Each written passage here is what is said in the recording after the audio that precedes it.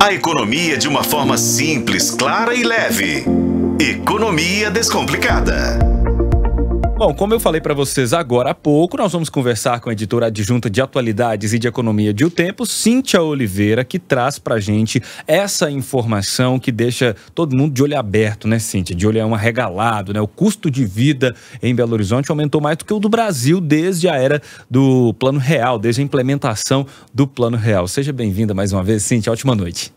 Oi, boa noite, Flávio, boa noite, ouvintes. Pois é, o IPAD, que é o Instituto de Pesquisas Econômicas, Administrativas e Contábeis da UFMG, é, verificou, fez as contas e verificou que a inflação ao longo de 30 anos, né, entre junho de 1994 e junho agora, é, a inflação no Brasil foi de 708%.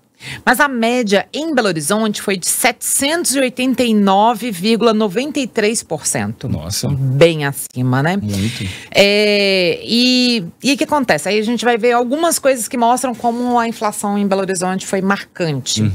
É, a passagem de ônibus, por exemplo, em 94, ela custava 35 centavos. Eu lembro que ela demorou para subir, porque eu, em 95 eu passei a andar de ônibus. Eu lembro que a gente ficou um tempão andando com a passagem de 35 centavos. E só que naquela época havia todo um projeto ali para não deixar a inflação voltar, né? Então, uhum. muita coisa. Havia. Estavam ali segurando os preços, né? Mas houve um momento que não tinha mais muito o que fazer, os preços foram subindo. A passagem hoje é de 5,25, um aumento de 1.400% em 30 anos. Ou seja, é, um pouco menos do que o dobro da inflação média em Belo Horizonte, né? Caramba. A cesta básica em Belo Horizonte, ela subiu 1.247% em 30 anos. Então, o que acontece? Belo Horizonte hoje é a, das 11 capitais analisadas pelo IBGE todo mês sobre a inflação, é a região metropolitana que tem a maior inflação e acima de 5%, ou seja, acima da média nacional. Lembrando uhum. que o IPCA uh, de maio tinha sido 3,93%. É, o que, que acontece? Belo Horizonte, há alguns meses, é a cidade que registra a pior inflação, é a cidade com a, a inflação maior do que São Paulo, do que o Rio de Janeiro. E no IPCA 15, é, que saiu essa semana, estava acima até mesmo de Porto Alegre. Caramba. Né, Porto Alegre, todo mundo imagina que a inflação vai ficar muito alta, porque há uma escassez de alimentos, uhum. né? Uma escassez das mais diferentes coisas que fazem com que o preço suba. E ainda assim, Belo Horizonte teve uma inflação maior.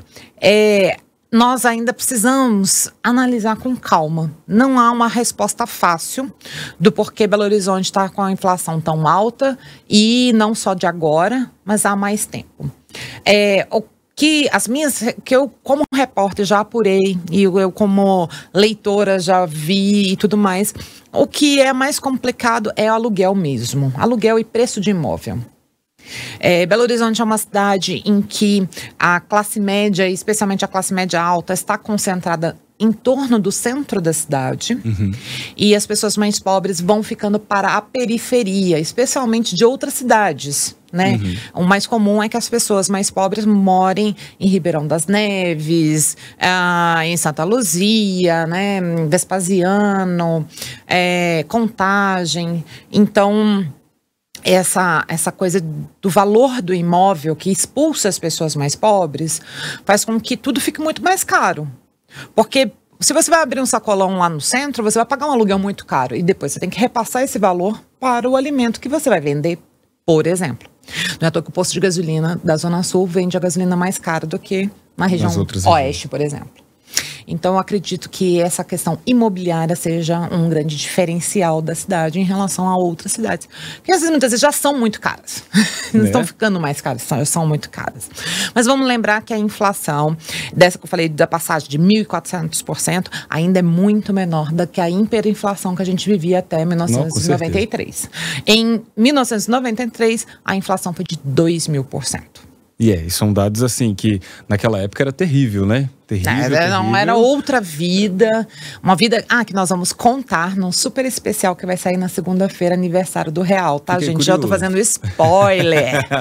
A gente, nossa equipe preparou um, um especial, é, um caderno especial com 12 páginas, ahn, várias reportagens para o portal, vídeo, matérias para a rádio. Tá bem completo no nosso material, tá? Então, na segunda-feira. Isso na segunda-feira, convidado. 1 de julho, porque é o aniversário do Real. 30 anos do Real.